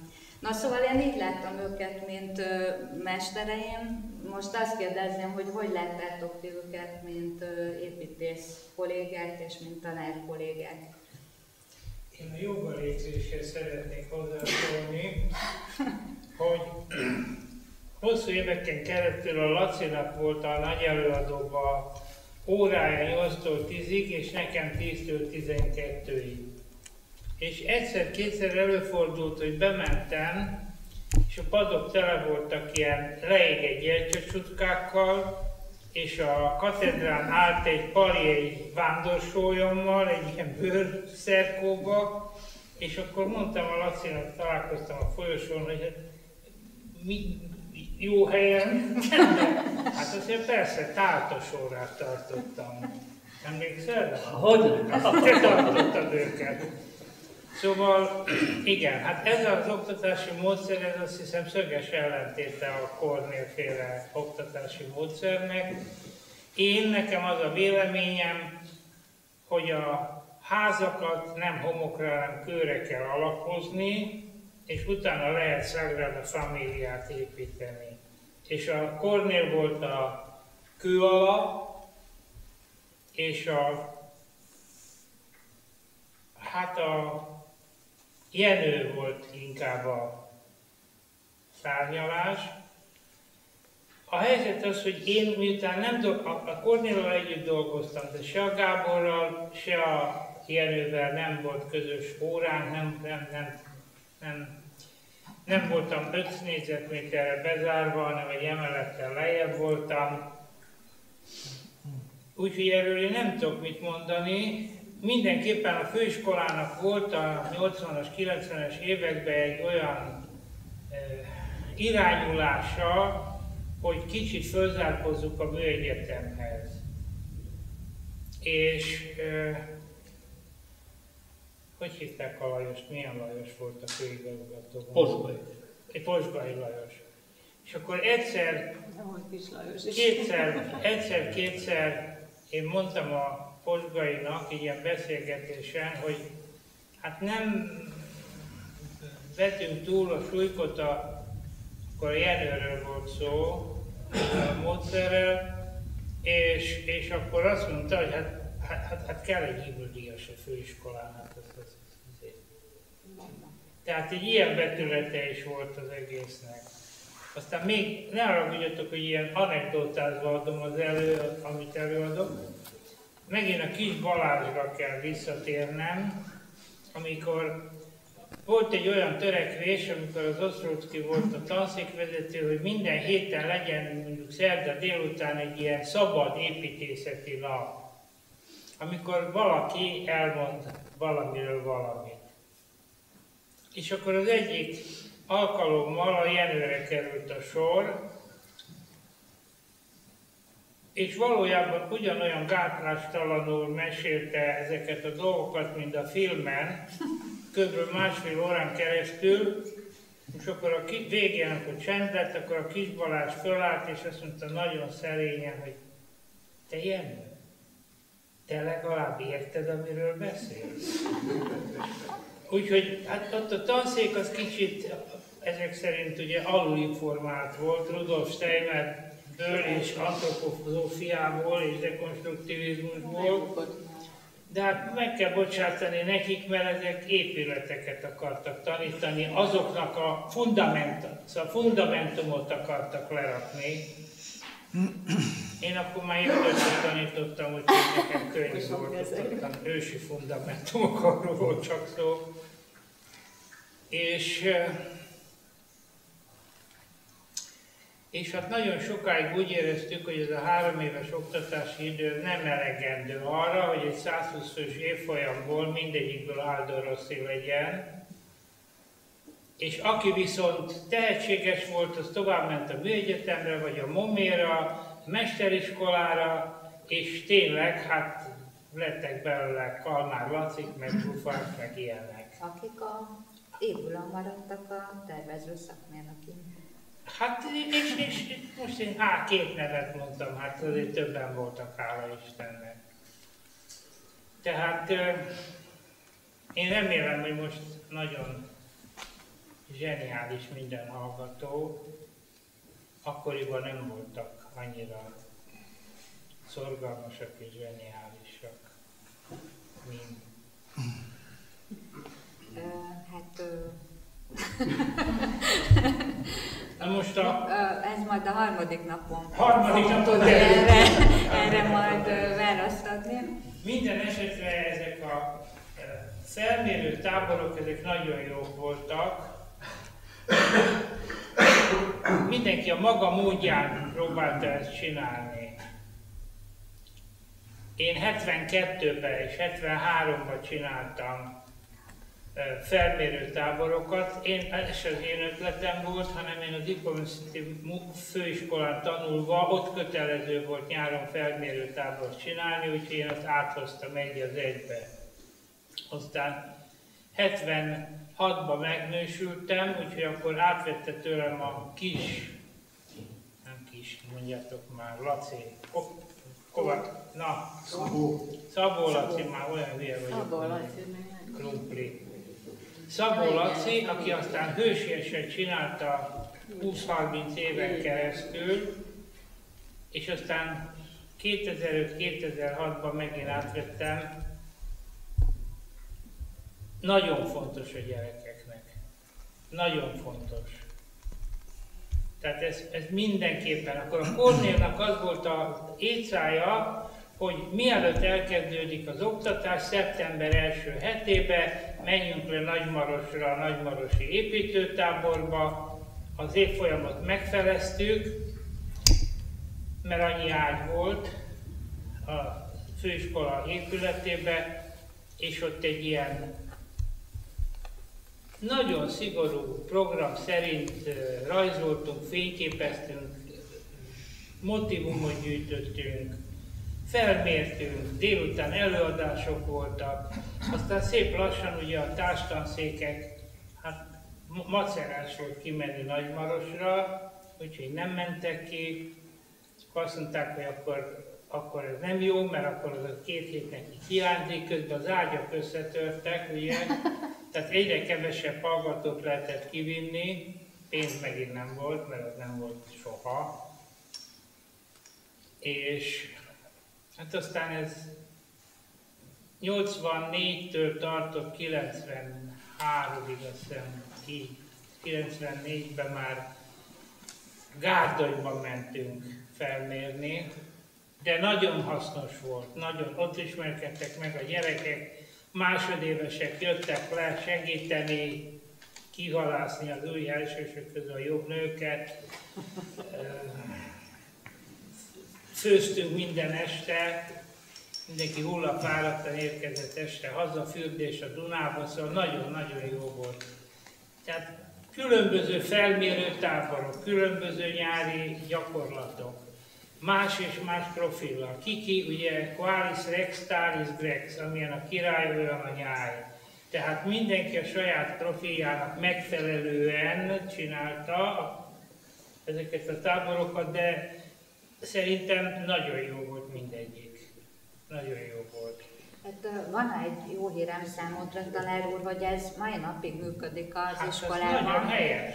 A, most épp a Szabó tanár úrnak a népépítészeti tézéket a Swings tanár úr, alias Fülöp István tanár úr vezeti, aztán közben alakult egy ipari örökség tanműhely is, és akkor még ide sorolnám a Hello Woodos építő táborokat, meg ja, más, ja, más építő táborok is vannak, aminek az anyagát, ez itt a reklámhelye, a hátsó moziteremben meg lehet tekinteni, az is a kiállításnak a része, és abszolút egyetértek veled, hogy mint hallgató is nagyon fontosnak tartottam, vagy szóval ilyen hasznos volt meg, meg hát a, emberileg is rendkívül építő jellegű volt ez az egész dolog, másrészt meg szakmailag is nagyon, nagyon sokat lehetett ezekből tanulni. Úgyhogy most a mostani tanárok azért is folytatjuk tovább, mert, mert emlékszünk rá, hogy ez annak idején mennyire hasznos dolog volt. Úgyhogy megy ez tovább, csak egy kicsit mindig más formában, meg más résztvevőkkel. Mondjuk azért is jó volt, mert ugye az anyagokat lefénymásoltuk, és egy sorozatot mindig elküldtünk az OMF-nek, amikor még volt OMF, és még érdekelt valakit ennek az archiválása, nem tudom most mi lesz ezekkel, mi, mi van az OMF-fel, azóta már First Tablet, meg Hausra Díren, azt mondod? Na hát akkor viszont nagyon jó tüzelőanyagot szolgáltattunk. Ezeknek a házaknak egy részét azóta lebontották. Tehát ez az, az van, ami nekem otthon pauszom van, meg, meg mondjuk az OMF-en művelőzében fénymásolaton. Igen. Hát a NTDK anyag az kikerült Szentendrére, az ott, ott legalább lehet tudni, hogy ott egy nagyon nagy anyag egy van megvan. De hogyha már köröknél tartunk, akkor Bölcsök tanár úrhoz fordulok, te is vezetted az Euró diákkört. És még egy kicsit így a, a Papi tanár úrra és a Relső Gáborra is Szabad akkor. Na akkor, ahol befejeztem, hogy a három iskolateremt Kornéról szerintem megemlékeztünk, most jön a Gábor, jöjjön ő. Neki az volt a feladat, hogy a főiskolát átvezesse egyetemé. Ez is egy csodálatos feladat, és ott kezdődött az egész, hogy kitalálja azt, hogy Szent István. Tudni, nagyon-nagyon sokan voltak, akik azt mondták, hogy csak a műegyetemhez, és még többen, akik azt mondták, hogy Óbudai Egyetemhez, és akkor nem Szent István lettünk volna. Na de ez az egész egy olyan személyes csatám volt, amit nem akarok elmondani, mert nem ide tartozik, meg plegykaszink, egy rivalizálás, egy irigykedés. Elhangzottak már itt nevek, itt a, idősebbek tudják, hogy, hogy mi áll e mögött, és akkor lépett be a Gábornak a bölcsessége, hogy Ácsi, én Gödöllön tanítok, majd két hónap van, nem tudtátok eldönteni, hát akkor valahogy el kell dönteni, bement a rektorhoz, azt mondta, hogy az év ide szerette, olyan szó se volt erről, vagy erről. Azok nagyon megörültek. Ez volt a Gábornak az első nagy húzása, hogy gyakorlatilag kitalálta azt, hogy Szent István Egyetem, és úgy folytatódik az iskoláknak a neve. Ez egy, ez egy utána, ugye főiskolából egyetemet kellett csinálni, annak a BSC részét. Abban volt csak, az adaptálást kidobta, de abban volt hasonlóság, hogy ameddig a, a Kornél pici ipari dolgokat, dolgokon keresztül próbálta tanítani, ő a mezőgazdasági dolgokon keresztül, és ez is egy érdekes, és, és itt valahol van egy kis hasonlóság, ami ez is ilyen anekdóta szín. Itt nem mondta el olyan világosan, csak utalt arra, hogy azt mondta neki az apja, ide figyelj, ezt egész országot mezőgazdasági épületre a Marcsinák tanította. Figyelj ide, ha egy kis eszed van, akkor elkezdesz ezzel foglalkozni, azt hidd el nekem, hogy ilyen pengés építés soha nem lesz belőle, viszont lehet egy nagyon jó mezőgazdasági építés is, a legjobb házad, ami készülhet az elkövetkező 30-40 év, az egész biztos, hogy ezen a területen lesz mezőgazdaság. És aztán egyszer szintén egy ilyen beszélgetésen kiderült, hogy két éven korábban nekem szó szerint az apja ugyanezt mondta, nem vagy pengésépítés, figyelj ide, neked ipari építésznek kell lenned, és te a legjobb házaidat életedben ipari területén fogod megalkotni. Igaza lett. Tehát ez már a műegyetemi nagy tanárokhoz, hogy miért volt a öreg Relső Antal kiváló, hogy ezt egy 22 éves ember eleve azt mondani, hogy, és ezt így látni előre, és ez így ennyire passzolja. Tehát ez, ez is a, ez csak egy érdekesség a, a, a Gáborral. Na most ő a BSC-be egy kicsit változtatott csak, tehát abba volt majd, hogy nem az iskola megteremtése, hova csatlakozunk, és utána pedig a legmagasabbra jutott, mint vezető. Ugye, és, és rettentő jól csinálta. Tehát egy olyan iskolában, ott két tanszék nem volt, amely szobát volna egymással. Ütötték, verték, borzalmas mi volt. És ő megoldotta azt, hogy egyszerűen elkezdtük, hogy azok is emberek. Hát, tehát, te, te, az így az, Gyuri, hát de ne, ne, szóval, egyszer szót érteni az építészek által utált mélyépítőket, statikusokat, építőket, tehát ez is egy óriási dolog.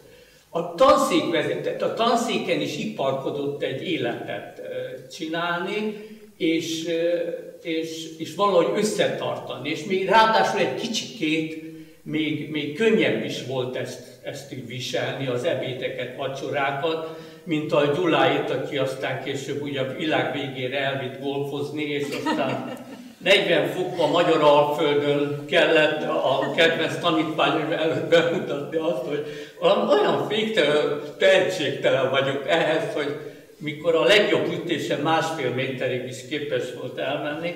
Na mindegy, mindegy, a Gábor azért egy kis vörösborral, egy kis ebéddel, egy kis izével, tehát egy főnöknek is egy könnyű, tehát én ezért tekintem őt, ezek miatt a dolgok miatt tekintem iskolateremtőnek. És akkor jön ide a jelő, aki talán a legnagyobb iskolateremtőnek tekintem, akinek pedig a, a ténykedése az nem ilyen egyértelműen mutatja, mint ahogy a Kornélnál is és a Gábornál is el lehet mondani. Hát úgy kezdődött, ugye oda jött 90-ben. Na most akkor mit látott, hogy csináltam a Kornélféle módszer, ment ez. Most a Jenőre az a jellemző, és mindig is az volt, hogy, hogy neki teljesen mindegy, hogy hol van. Óvoda, bölcsödet, MSC, PSC, főiskola, nem tudom micsoda, az bemegy, és volt több előadás összsűrítve, összevágva szépen, egy ilyen tart nyitó előadásnak. Ugye beszéltünk arról, hogy a Aldo Rossi mit mondott, és az gyakorlatilag egy perc is eltűnt. A Jenő az a másfélás adásban három-négy óra volt, és körülbelül ezek mentek. Na most adva van egy olyan hallgató, látom a Gézát, ezért mondom a Szent Zsuzsit, ide jön a nyelvű gimnáziumból, csodákra várva, és akkor bemegy az egyik terembe, és ott hallja az adaptálást, kicsit csúszhatok időbe ebbe, de tőlem, bemegy a másik terembe, és hallja ezt a önismert pszichot. E, ezek, hát persze, hogy, hogy jobban tetszik neki. Most nekem tűrni az, hogy, hogy ráadásul lányom barátnője, mélységesen lenni, hogy ez, ez azt hiszi, hogy így kell építészeket nevelni. Na most a Jenő ezt tényleg tudta csinálni, és le a kalappal az idő után nem csináltak ebből gondot, tehát tudta úgy csinálni, szinte partizán módjára, hogy ő elkezdte gyakorlatilag 90-ben a főisten azt az MSC képzést, amit még Európa se tudta, hogy létezni fog majd egy ilyen. De hát ez, e, ez, ez a, a, tanította az építészetet. Na most később aztán egyetemre váltott a suli, és akkor elkezdte őt borzasztóan irritálni az, hogy már látta, hogy itt olyan tehetséges hallgatók is vannak, és akkor én nem tudok neki egy olyan diplomát adni, amivel ő elkezdhez tervezni, hanem el, be kell kuncsorogni a műegyetemre, és el kell ott végezni egy, egy átképzést, és nem bírt ebbe belenyugodni. És ez szülte meg azt a szakmérnök képzést, amit kitalált, amit a mai napig nagyon sokan vannak az országban, akik azt mondják, hogy ez volt a legjobb, valaha Magyarországon volt legjobb építészképzés. Na most ettől igazán iskolateremtő, hogy ezt meg tudta csinálni, és gyakorlatilag ott elkezdődött az az MSC képzés, ami után meg tudták kapni a tervezési jogosultságot, és MSZ-ről még senki nem ad. És nekem is az egyik legnagyobb, legjobb érzésem, hogy, hogy a Jenőnél elértem azt, hát amikor én a, a beszédesféle adaptálás és főiskolai stílus csináltam, hát mélységesen lenézte és dühös volt, hogy miért nem és miért nem, és eljutottunk oda, hogy a szakmérnökére meghívott. És gyakorlatilag ott már utolsó három menetben már én végig voltam, és, és egyszer meg is kérdeztem tőle, és, és azért most dicsekve is, hogy elmondom, de azt mondta, hogy ő nem ismer olyat az országban, aki 30 másfél órás előadás a kortás építészetről meg tudna tartani. És ide ez kell. És utána bejött egy pszichológus utána. Én leadtam, mit tudom én, a racionalista építészetet, dekonstruktív építészetet, amit éppen tegnap előtt fotóztunk a hallgatókkal valahol. Tehát ő neki változott a legnagyobbat a, a, a véleménye. Tehát gyakorlatilag a legnagyobb ellenállás irányomba a Jenő részéről volt, ez is egy És még egy dolog segített, hogy a, a Fajó János meghívta a Szerencsi ugye a, a, a Jenőt. És ott tanított, és ott az ország minden rész, minden egyeteméről voltak nagyon tehetséges hallgatók, itt ül ott ül a elment már, vagy előbb még itt volt. Ő is ott volt, és ott voltak soproni hallgatók is, ott mondtak, én tíz évet tanítottam Sopronba is óraadóként, és ott mondott két hallgató neki olyat, hogy az egész Sopronban csak egy jó tanár van, akit hallgatnak, és aki jó. És ez volt az első, és akkor el, elkezdett belelátni, mert elvittem egy, egy euróútra, ittől a kísérője. Amit végig jogaülésben volt végig. Igen, igen, igen, igen, és akkor ezek idézték aztán elő, hogy, hogy befértem a szakmérnök képzésbe, és én, én gyakorlatilag nagyon-nagyon örültem, és mai napig örülök, hogy abban én részt. És, és gyakorlatilag én azt hiszem így tudom fölvázolni a három embernek, akik teljesen egy, eltérő egyéniségek, hogy mi az, ami én ez az iskola teremtés, és azt is elmondtam, hogy ezt hogy ítéljük meg, hogy egy kicsit segített nekik a szors azzal, hogy technikum, felsőfokú technikum, így mellé ott, ott kicsit könnyebb iskolát, mint egy olyan suliba, ahol 150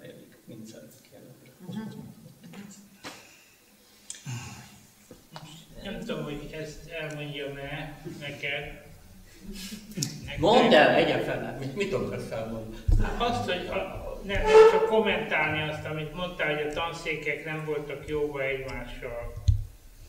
Hát azért Jó, te jó, várjál, te mindig kivétel. Mert egy kapcsolattartó embertípus én vagy. egy kapcsolattartó embertípus Ez- vagyok, de nem erről van szó, hanem arról van szó, hogy hát ö, a különböző tanszékek különböző elbírálásban részesültek. Ugye mindenki vonja le a következtetést. Ugye az épület, épület szerkezet a tanszéknek a tanszékvezetője, a Seidl Ambrus, az egy bizonyos Hausmann Alajos nevezetű embernek volt az unokája, aki hát ugye ilyen kő, kő, kő csináltatott a várba, meg ilyenek. Jó, és a volt a Varga. Akkor volt, volt, a, Dulovic volt, a, volt a Bajza József, aki hát szintén egy Jó, értem, már tudom, mit fogsz mondani. régi, régi típusú családból származott. Volt az Osztrolucki Miklós, akinek az egyetemi fölvét, fölvételénél a Krakowicer elvtárs megkérdezte, hogy volt-e házuk, és mondta, hát volt, volt, volt. És akkor ugye megkérdezte a Krakowicer, hogy hány szoba volt abban a házban. Száz. És akkor a Miklós tudta, hogy most már el van veszve minden, és mondta, hogy 69 és 4 ágyúállás.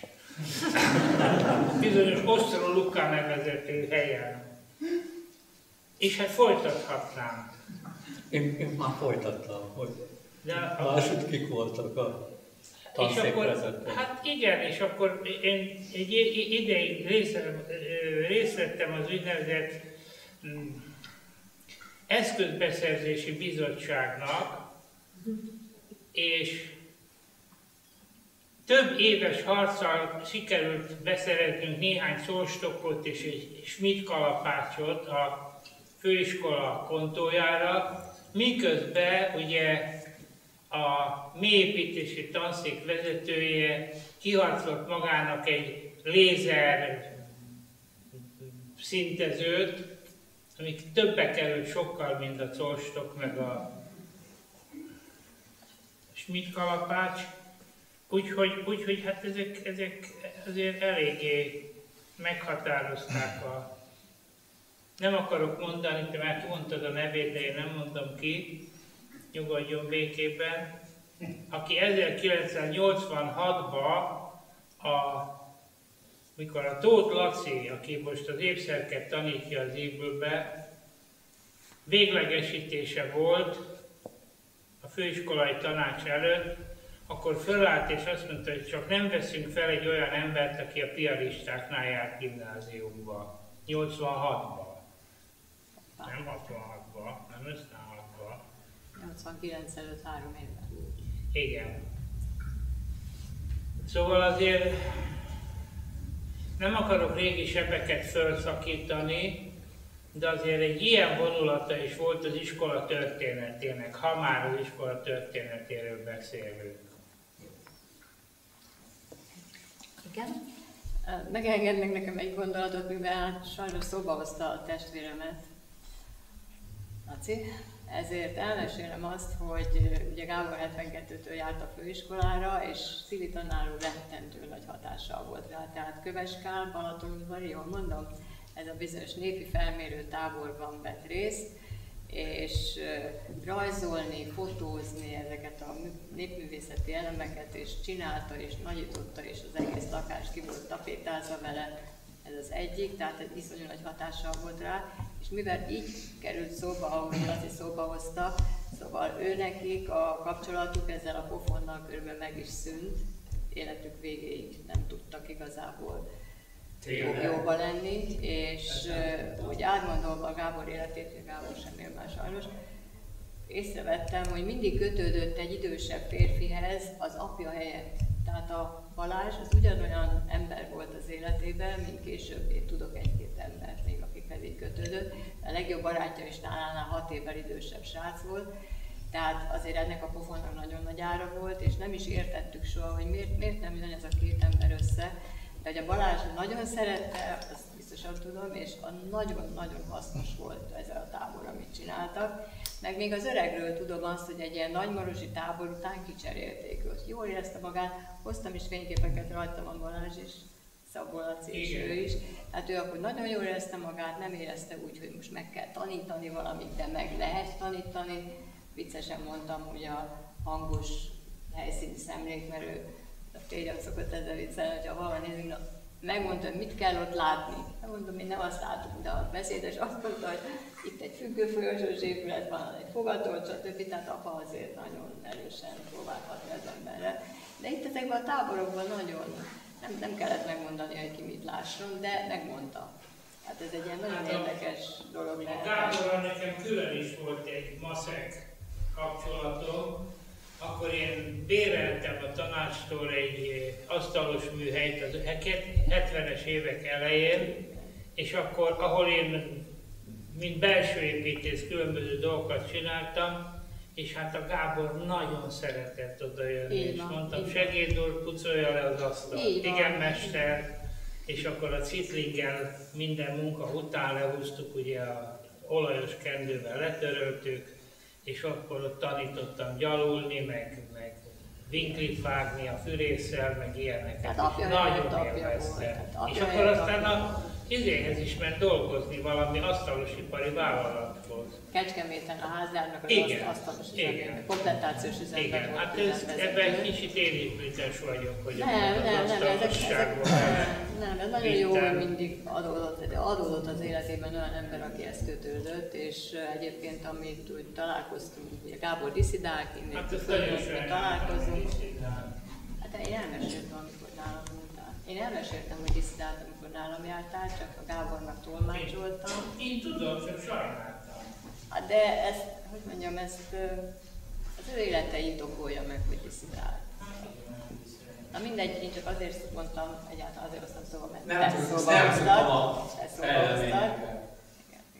Lényeg az, amit mondandóknak a lényege az, hogy ezek a táborok nagyon jók voltak, nagyon érezték magát magukat a diákok, a sógornőm, aki szintén évfolyamtárs volt a mai napig is népépítészet, és az egész szakmai élete, ami ugye most lassan befejeződik, mind, mind abból, abból ered. Tehát Kecskemét környékén biztosítási dolgokkal foglalkozik, és állandóan járja ott a falvakat, és marhára profi, nem lehet becsapni egy beázással, vagy bármivel, és az is a te tanításainak a hát hatása. Biztos, hogy a, a, biztos, hogy a mai hallgatók is, akik a Fülöp Pistánál csinálják ezt, majd 5-10-15 év múlva ugyanezt fogják mondani. Igen, ez egy nagyon-nagyon Ezért jó 15 év múlva mondják azt, hogy jó.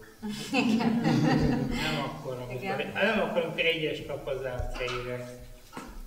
A főiskolán nagyon sok jó dolog is volt nyilván, meg van is, és folytattátok, de hát itt, a, itt, a, itt az évek száma meg a cél, tehát az öt éves egyetemi képzés, amit a főiskola csinál, végül is név alatt, a Szent István Egyetem név alatt, az egészen más, mint amit én próbáltam itt bemutatni. Hát persze, hát az amikor egy felsőfokú technikumból lesz főiskola, és mások a céljai. Az Oszlóruszkiról hogy meséljem, mert talán az apa se tudja, tehát az édesanyám egy ilyen földbirtokos családból származik, és van családfájuk. Oszlóruszki Miklós név szerepel a családfában. Amikor megláttam, teljesen ledöbbentem, tehát akkor ez, amit te meséltél, az összevág ezzel. Tehát akkor mégiscsak ez az az oszlopus. Hát a Miklósnak az anyagkettőt hívták, hogy Bekerve Sándor, mondjuk nem akartam most az egész tanszéken átmenni, de mondjuk nem Szóval azt Várj, lehet mondani, hogy a tanszék éppen, hogy megúszta a kitelepítést. Éppen valahogy. Hát a Miklós se vették fel, hát az Émibe ment dolgozni, estin végezte el. Osztályidegen. Sajnos annyira jó feje volt, hogy előbb-utóbb hát csak fölúszott a mocsák tetejére. Kedves vendégeim, kedves közönség, én, én úgy érzékelem, hogy most a, egy bizonyos szintig, természetesen nem, nem, nem a teljesség igényével, de mégis megkutattuk egy picit, hogy Ébül Miklósnak akkor létezik-e öröksége, vagy nem létezik. Remélem, hogy most mindenki, mindenki közelebb jutott a, a válaszhoz itt a beszélgetés segítségével, és hogy a másik címet is emlegessem, az Evil Layers-t. Szerintem azt is elmondhatjuk erről az estéről, hogy ennyire sokrétű, meg ennyire sokszínű az iskolának a története is, és akkor még a következő napokról, a jelenről, meg a jövőről még akkor nem is beszéltünk. Az idő előre haladta miatt. Én azt mondanám, hogy most köszönjük a közönségnek a türelmét, és akkor a a, nem tudom, a pogácsák, pogácsák maradékai mellett még folytassuk tovább a, a beszélgetést esetleg, hogyha még van erre igény. Nagyon szépen köszönöm, hogy eljöttetek, nagyon Én szépen köszönöm az előadást, és nagyon szépen köszönöm a figyelmet is mindenkinek.